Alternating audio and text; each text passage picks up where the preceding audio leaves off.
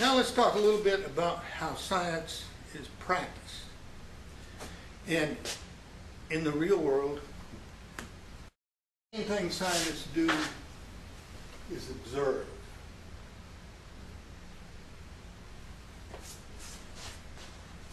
They pay attention to what they look at. And they, and they look at the details. They see the forest and the trees.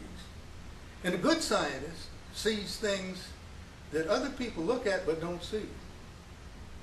Let me give you an example that maybe you've read about, and if you haven't, you probably will somewhere in your coursework when, when, when you cover evolution. And that's this uh, experience that Darwin had when he went to the Galapagos Islands and studying the different animals and plants and so forth. And, and one of the things he noticed right off the bat was that there were different species of finches. Actually, it turns out he identified 13 species of finches. And they all differed in the kind of beak they had, you know, the bill. And the, uh, some, they had different shapes and sizes and, and all of the bill. And uh,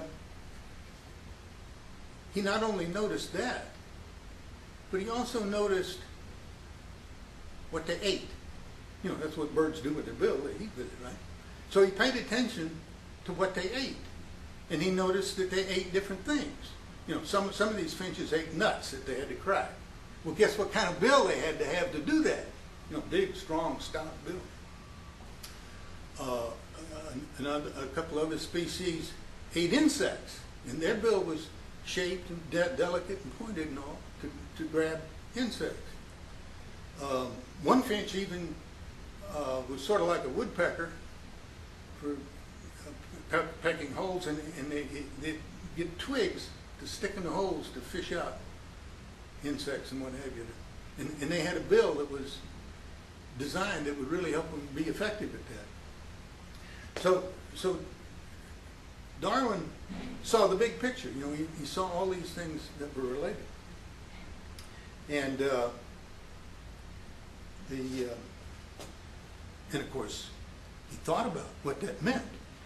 And, and, and that helped him come up with the idea of natural selection, that there are situations in the environment that favor certain kinds of adaptations. And, and the animals that happen to have that capability thrive. And, and those that don't, of course, don't survive and don't have offspring. Well, another thing scientists do is they think a lot. Uh, think all the time.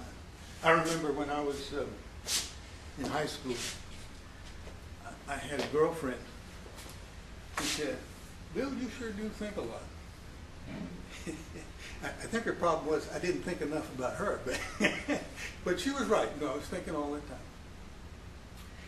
If the, the best example and the best way to illustrate that I know of is, is to read some of Einstein's biographies, you know, where he, he told his life story. And by the way, Einstein was a pretty good writer, and he could speak in simple language.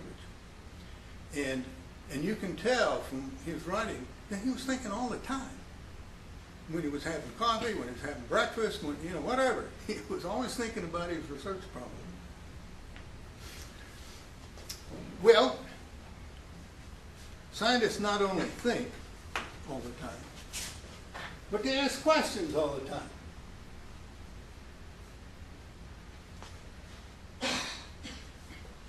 And they want to know why, why are things that way? How does it work? How do I know that this is true? You know, always asking questions. And, and that's related to the fact that scientists are curious. You know, they don't just accept things at face value.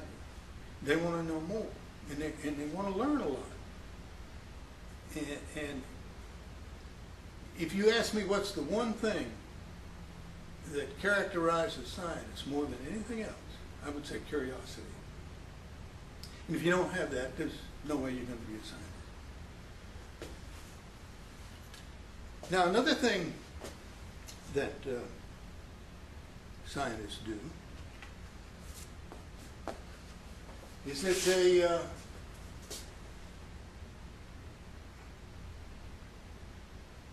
they come up with ideas to answer their own questions. If, if your teacher has talked to you about scientific method, you, you already know about the hypothesis. You know, the hypothesis is an informed guess uh, that answers a question you've raised. And, uh, and this is a necessary step in, in trying to uh, get your questions answered.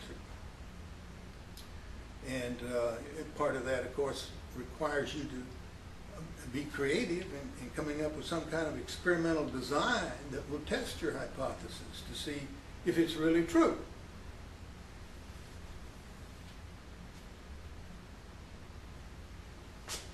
Now, this business about asking questions and, generating possible answers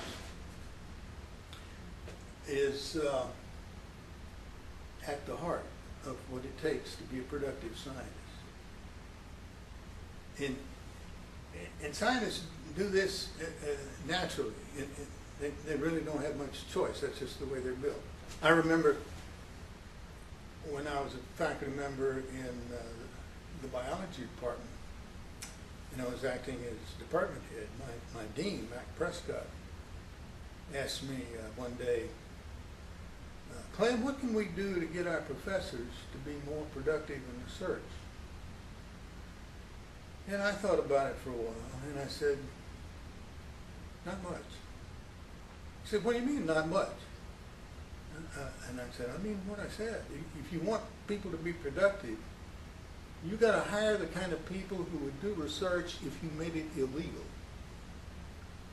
Well, that wasn't the answer he wanted to hear, but and it is also true that there are things that can be done to remove some obstacles, you know, to get in the way of research. But if you don't have people who who are driven to do research, there's not much you can do to get research out of it.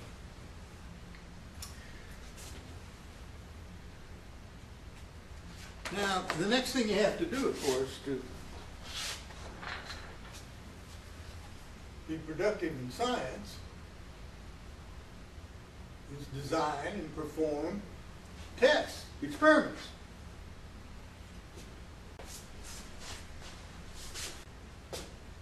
Designed to see if your hypothesis is correct or not.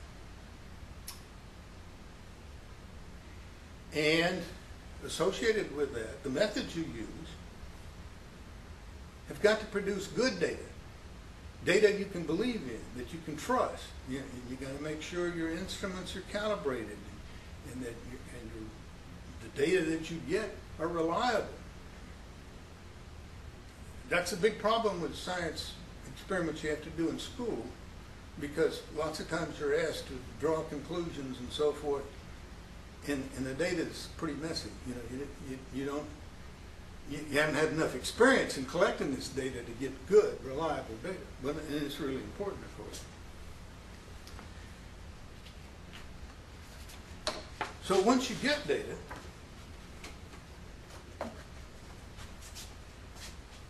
you have to analyze it. Now in school, you're at the stage where they're teaching you how to interpret graphs and, and tables and so forth. And think about the data to make sure uh, you know what the data say. And, and you have to think about how much variation there is in the data and, and what's the best way to present the data in graph or table form or whatever. And, and you also need to think about the, the magnitude of the effect. You know, you, you can get a, an effect of of your treatment is so small that it doesn't, it doesn't mean much. You know, it doesn't have much practical value. So all of these things have to be taken into account. After you do that, you have to make some kind of decision about your data.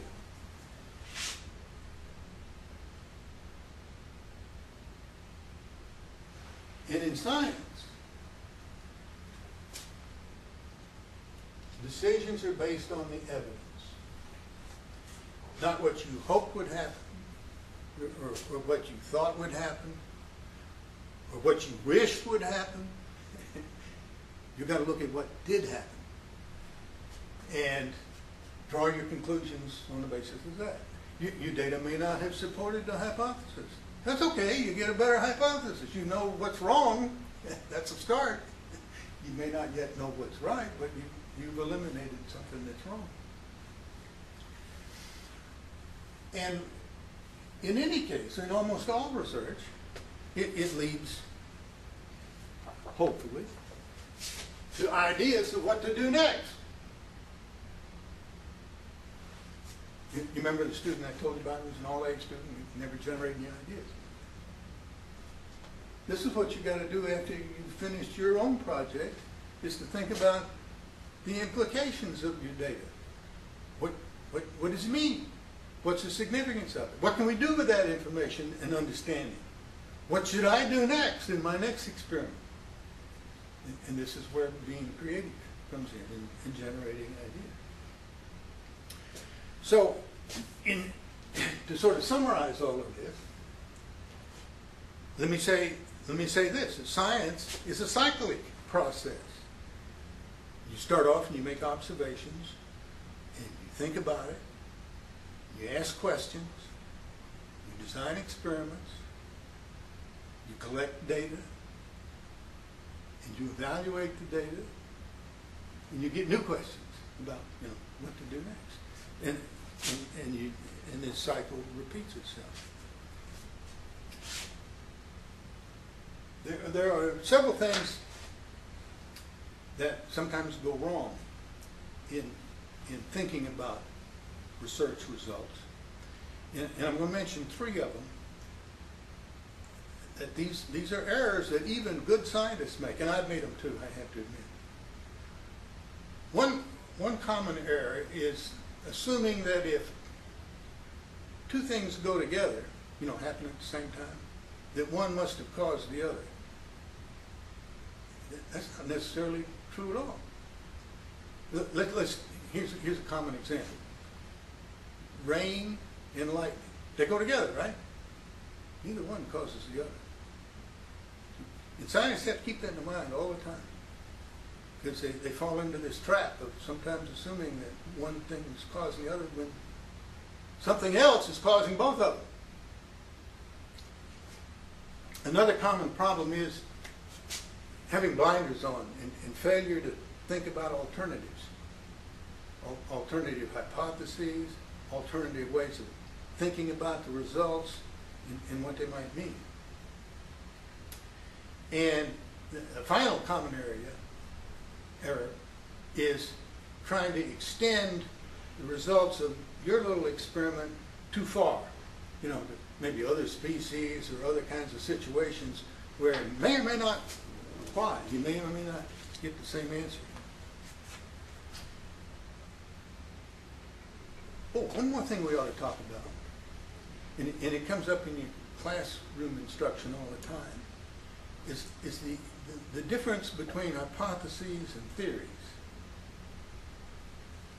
Theories are a, a, a broader way of thinking about a, a science idea.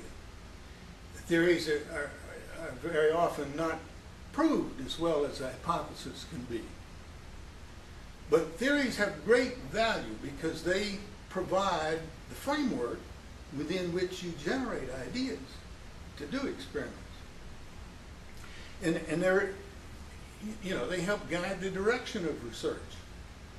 And the theory may be wrong, and if you do enough research that doesn't fit the theory, you better change the theory. Okay, but but the theory is still important because that's the framework with which, in, inside of which you do your thinking. And, and a good theory, of course, is, is very helpful, not only because it, it, a, it guides your thinking, but it ties a lot of isolated facts together. You know, helps, helps make sense of it all. And, and this was the great value of Darwin's theory of evolution. He had all these independent observations, and only evolution put it all together. You know, it was uh, a unifying way of looking at, at how living organisms interact. And of course, a good theory stands the test of time. And, uh, a lot of theories go down the drain. You know, some of them are just poor theories, but if they're good, they will last for decades, and centuries. So, to summarize everything we've said, let me say this about uh, inquiry learning. And, and, and, try to remind us of, now, what is it you learn when you do inquiry learning in science? What I think you learn is how to, first of all, uh, ask good questions.